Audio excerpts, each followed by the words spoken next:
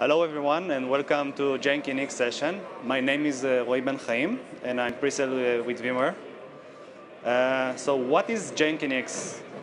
Jenkins-X is an open source tool that allow you to push uh, source code and get a running application. To, to, to understand uh, how Jenkins-X works, I will go a little bit back in the history to the application development uh, how they change the landscape. If we go back in the history, uh, the application were monolithic. That means all the components of the application reside on the same server.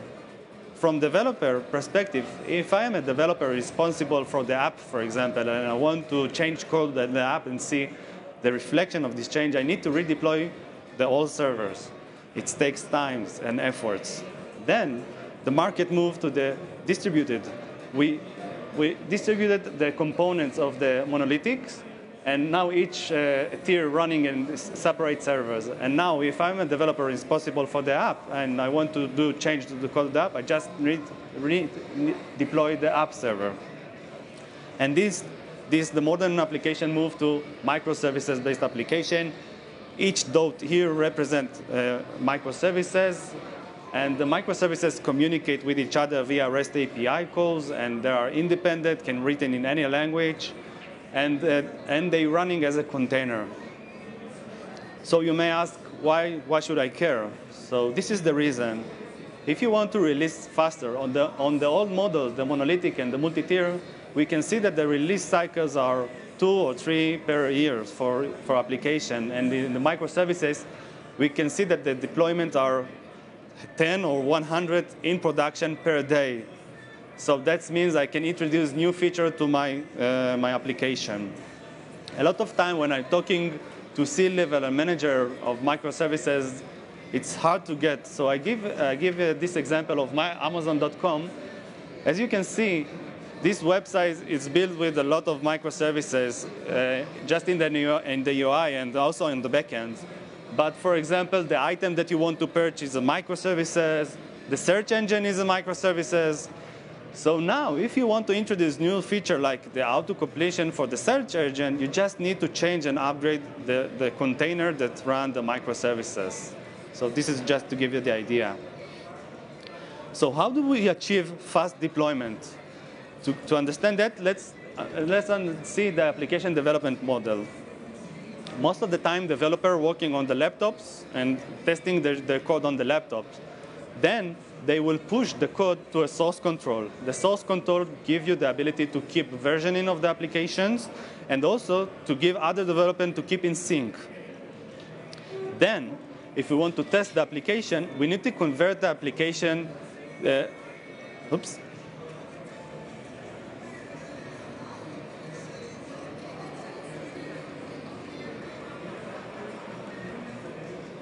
Yeah, we have a little bit problem.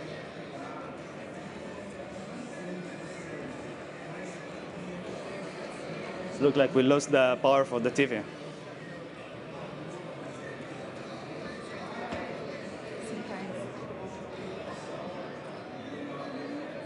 Next slide. Uh, uh, it's okay. Thank you.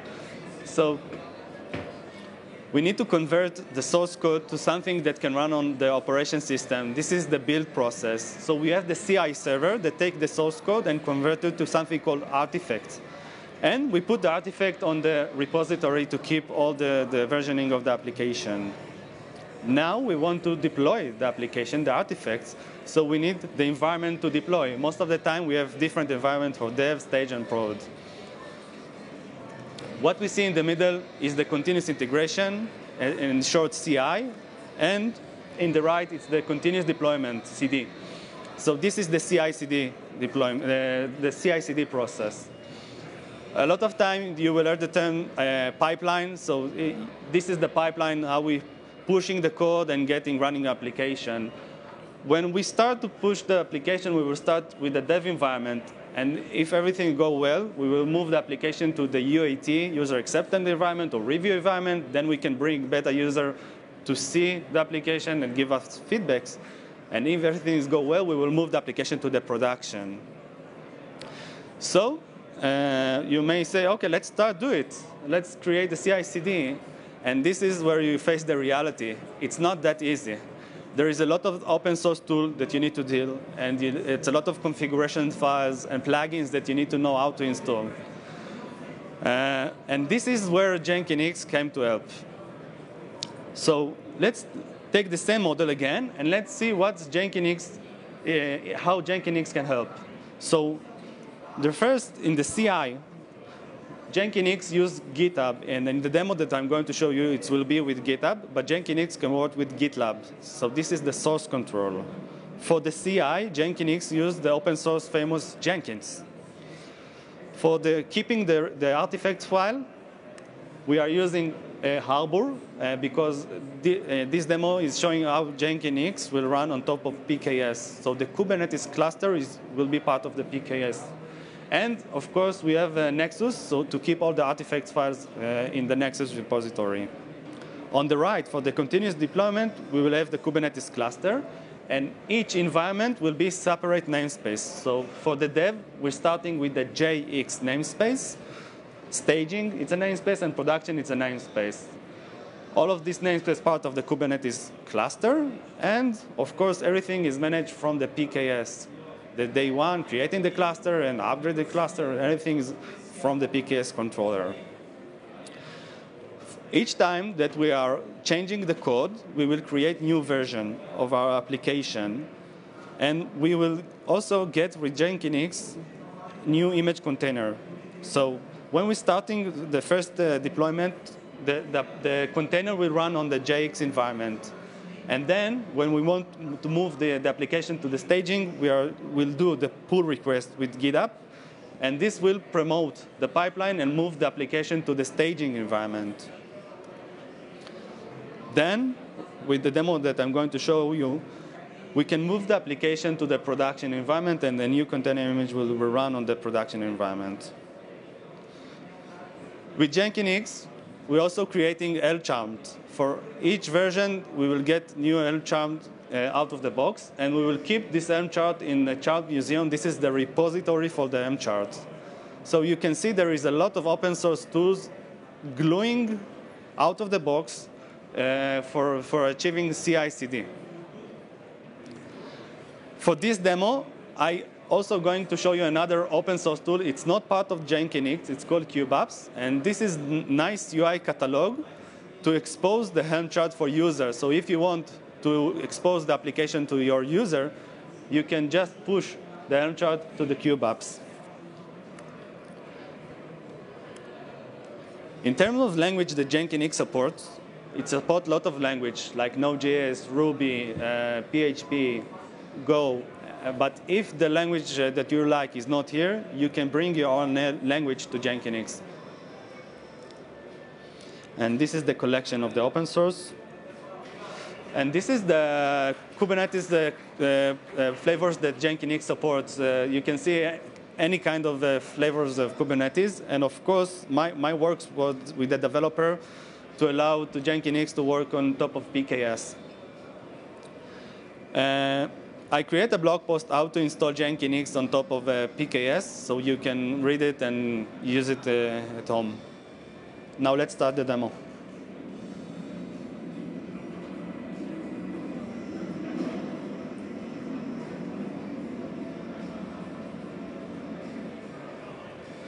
Okay, the first things I would, would like to show you is that we have a Kubernetes cluster. Through the PKS CLI, we have one cluster you can see that we have three nodes in this cluster. We can see the health status of the nodes with the BOSH command.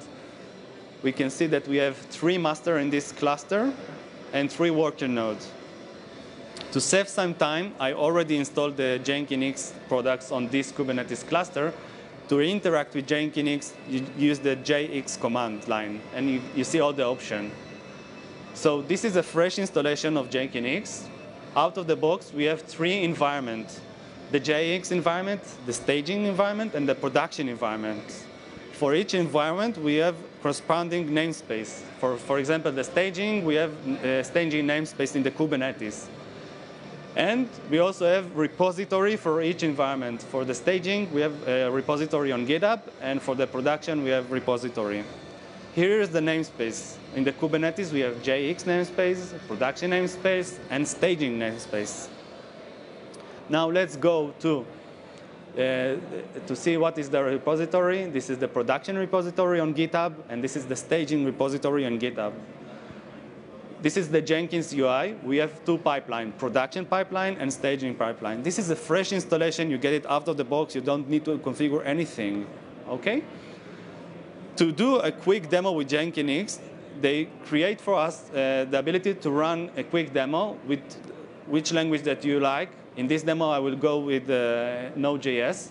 So I will show you how quickly we, you can run a code from Node.js.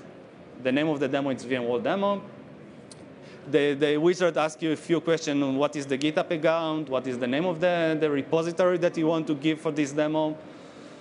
And uh, after finish this wizard, Jenkins will create a new pipeline for this demo okay, and it will create new repository on the GitHub, uh, GitHub account for this demo.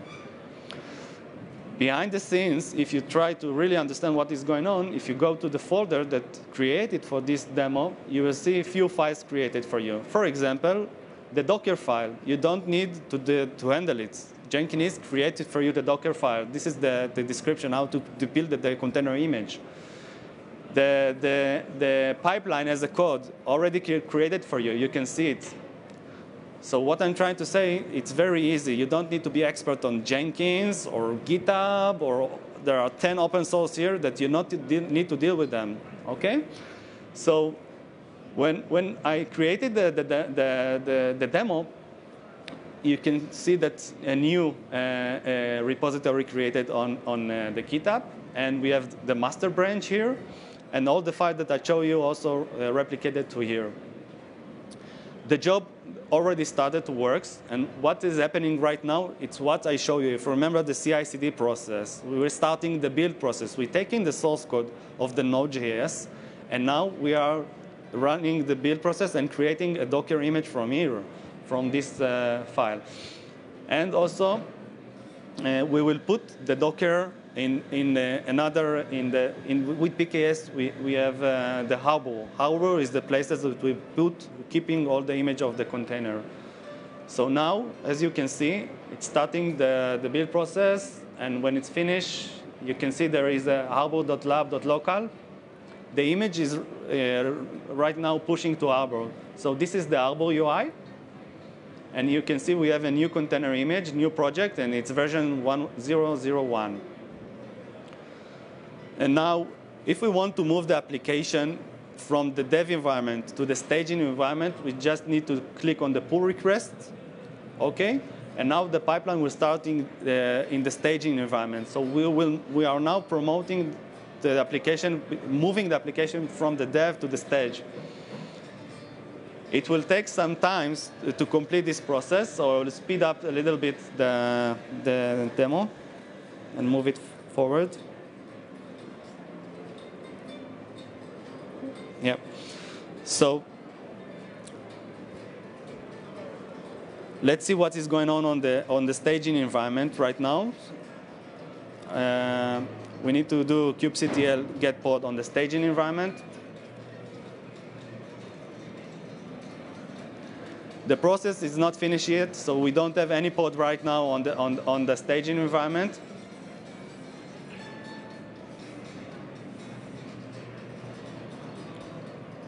Let's move it a little bit further.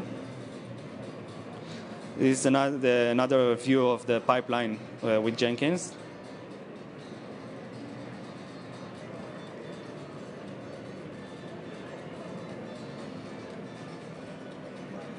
Okay, so you can see we have a new release right now on, on the repository on the GitHub.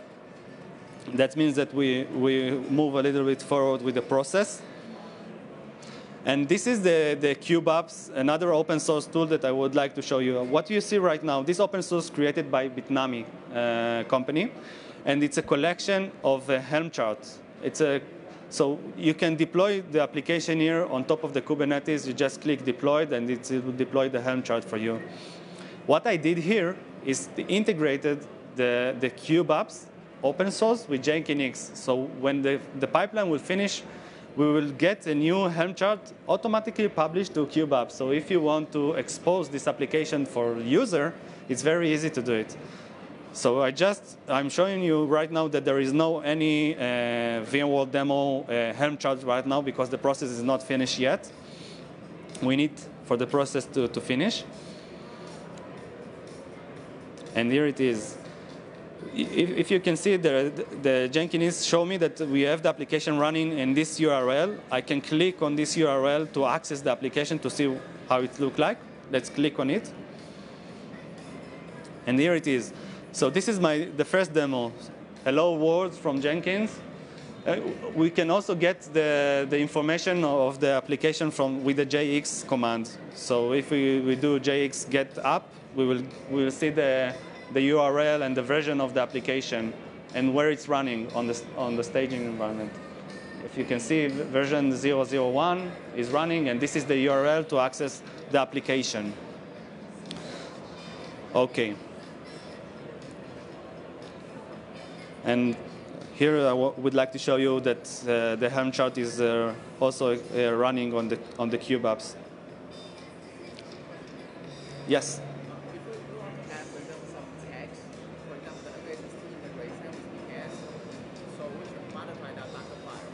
Well, you're talking about tagging the image, the container image, or?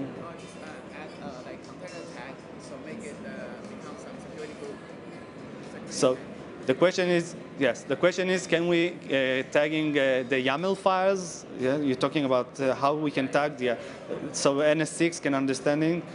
So uh, the question was, can we tag the, the YAML files so we can create a policy with NSX? And the answer is yes.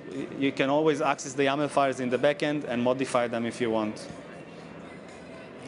And a matter of fact, by the way, it's a good question because I can show you from here. This is Jenkins. You see the JX. The Helm chart is creating by JX. If you click deploy the Helm chart, in this is version 111.001, sorry. You can see this is the file, the, the, the YAML file you can modify it right here. You can put a label here and then use this label then with NSX and creating policy based on this label with NSX.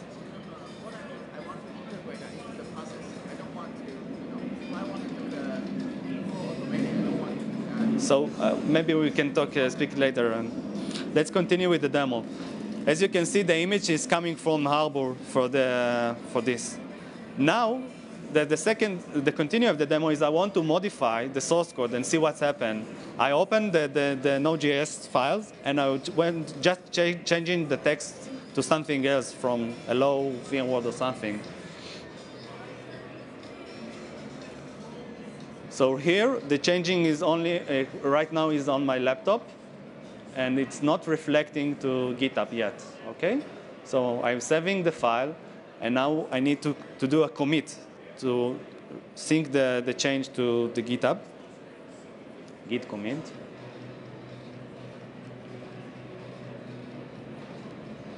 Give it a tag, version 002, and then git push to push it to GitHub.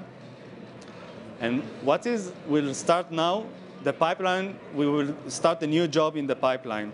It will take a few minutes uh, for Jenkins to, to Jenkins to understand that there is a new commit. But from GitHub, you can see right away that we have a new version, and you can see the change of the code, what's happening. Uh, and if we go back to Jenkins, you will see the job already started. So we are starting the job, uh, the whole process starting again. The build process, we will get a new container image, we will, we will get new artifact file, and then we will start deploying the, the new version on the JX environment. So let's move it a little bit faster to save some time.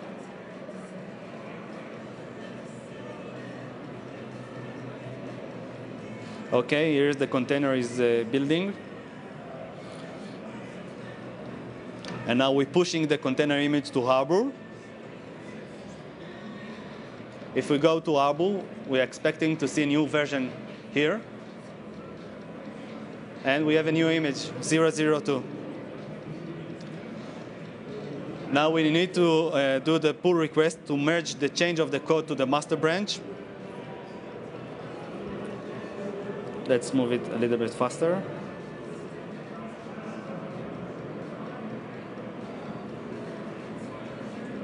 Yeah, Here's, here is the merging.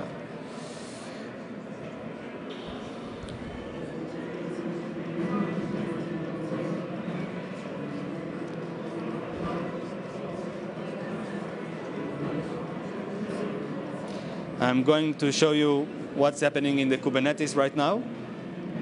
In the JX environment, we have a new, uh, new pod for Node.js. And if we move to the staging environment, we, we should uh, see a new version of the pod creating.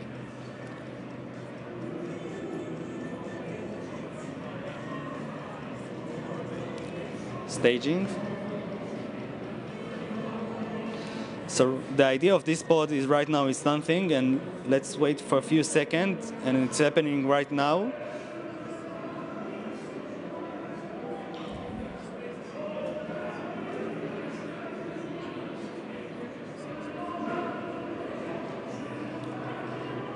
Go back and do the same command again, get the pod, and you can see the pod ID is changing right now. So we create a new pod, and now the, the new version of the application is running. If we do jx get apps, you can see new version 002 is running. The URL didn't, did not change because this is the same application. I'm reopening the website, my application, and I see the reflection of the code right now. So you can see it's so easy. If I am a developer and I want to achieve faster de uh, development, it's very easy to use uh, Jenkins-X and you don't need to do anything with Jenkins or with the other open source tool. So uh, this was the demo. If you have any question, this is the right time to ask them. Yes? Yes. It, it, the rolling update is part of Kubernetes stuff. So if you want to do it, you go to kubectl and do whatever you want. Ah, I need, I need to check this. Okay. The question was, uh, does Jenkins do it uh, in rolling upgrade scenario or uh, kill the running pod and create new pod? So I need to verify this.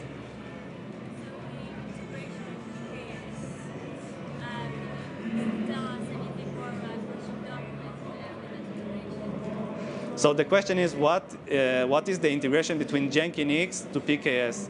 So Jenkins out of the box works with uh, a lot of uh, uh, Kubernetes flavors. And what I did here is to, to make it work is the integration of with Harbor. I don't know if you know Harbor has become now officially open source.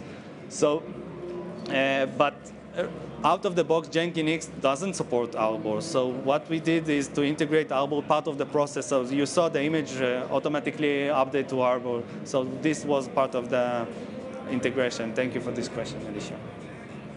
Any other question? So that's it.